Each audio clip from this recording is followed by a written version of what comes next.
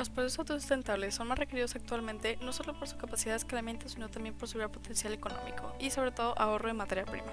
Buenas, mi nombre es Carolina Cardoso Campos y les voy a presentar las bagazo chips. En el proceso cervecero se desperdicia una gran cantidad de alimento potencial cuando se desecha el bagazo, que este es un producto del filtrado después de hacer el mosto. Es una combinación entre malta, lúpulo, entre otros, que le dan un gran añadido proteico nutricional que tiene un sabor similar a granola con posibilidades de usar alimentos salados y dulces. Aproximadamente se generan 600 gramos de bagazo por cada litro de cerveza, conformando este por sí solo el 85% de residuos en la elaboración de cerveza. Además, el bagazo es muy rico en proteína, siendo cerca del 30% de su composición. Esta es una gran área de oportunidad para los productores de cerveza para generar ingresos con sus productos del mismo.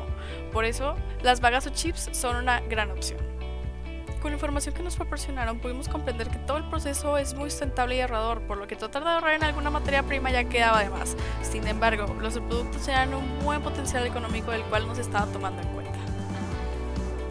Nos dimos cuenta que efectivamente el bagazo era una muy buena mezcla con la cual trabajar que no solo traía beneficios al productor, sino que también al consumidor. Nuestras bagazo chips son unas papitas fritas hechas de harina con bagazo, dándoles un sabor irresistible que recuerda a la cerveza siendo un gran acompañante al tomarla. Las bagazo chips son vegetarianas otorgan un significativo contenido proteico, por un super snack que puede sonar al gusto del consumidor.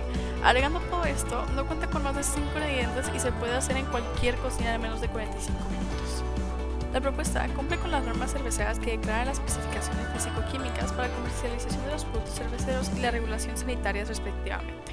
Además, se toma en cuenta la norma para la regulación de las tortillas, que regula el procesamiento, especificaciones sanitarias, información comercial y métodos de prueba.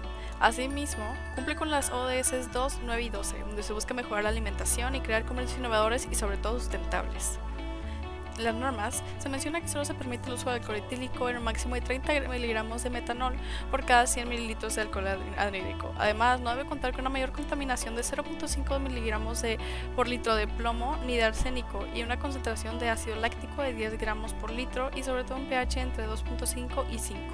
Al ser destilada debe provenir de mosto vegetal y se puede agregar aditivos alimentarios.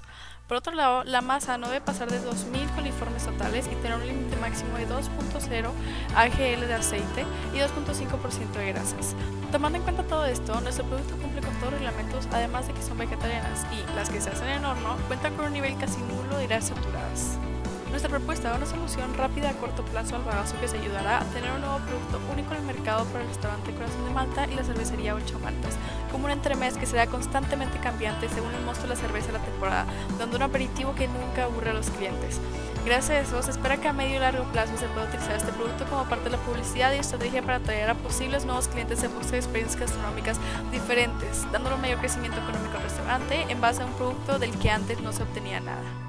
Por esto y más estoy segura que las Bagazo Chips son una gran oportunidad para escalar el corazón de Malta y ocho maltas, destacando con un producto único en el mercado con una gran variedad de sabores determinados por el tipo de malta utilizada.